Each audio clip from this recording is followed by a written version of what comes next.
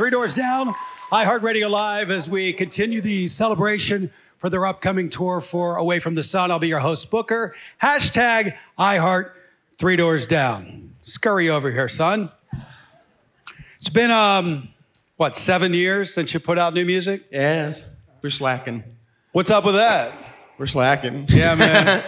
you got songs finished, or what's up? We do have a few songs finished. Uh, we have a couple that we actually need to uh, that we, that we wrote, and Greg and I wrote a couple, and uh, we've kind of been playing them on tour a little bit, and we just need to get our butts in the studio and make a record. And there's really no explanation for it except we have been slacking.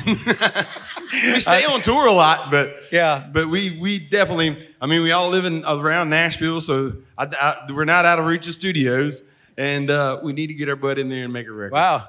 You won't hear a band cop to laziness too often, but right there it was, everybody. Congratulations. Um, you know, the music business, a lot of things have changed in seven years. I mean, even sonically, the sounds of things. How does that affect your band? Man, you know, well, over the years, we've seen a lot of sounds come and go, but I think honest music will always have a place and a song that has a meaning for it, you know, and we just write songs about life and, and, you know, and I think every, we're all on the same road, you know, we're all in different lanes, but we all feel the same things and different situations bring about those feelings, but we all have the same ones. And I think if you can capture those feelings in a song, but leave it open in a way that people can make it their own, then you'll always have a song that'll have a place. Okay.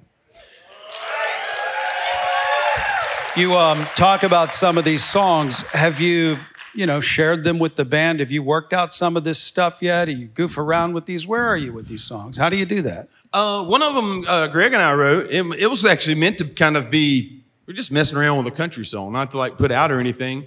But uh, we just wrote it, and it came out really cool. But at the same time, we're not a country band, so. And, but you know, at the end of the day, a lot of our songs, being we're Southern guys, you know, and, Yeah. and we have those roots there. A lot of our songs aren't really far from a country, modern country song, anyway, you know. And so it wasn't a far stretch to turn it into a, a pretty good rock song, and and uh, it's a song called "Part of My Heart," and we'll probably play it this summer as well. And uh, we have a couple of more. And uh, also, we have some B sides that uh, that we all wish would have been on "Away from the Sun" that we're putting out on the deluxe edition. And uh, I know one of them, you know, that we talked about earlier, pop song. We'll be playing it this summer, and and so we're excited to do that too.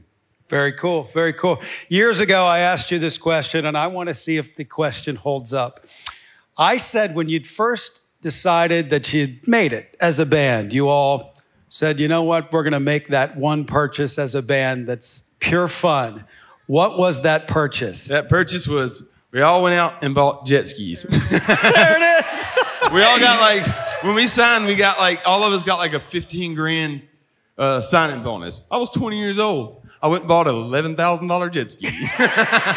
It's in the bottom of the Mississippi right now, probably. probably. Thank you all for being with us tonight. Away from the Sun, the anniversary tour is happening this summer. Tickets available right now, and the deluxe remastered version of Away from the Sun coming out this summer. My name is Booker. Once again, thank you guys. Three doors down. Thank you, brother.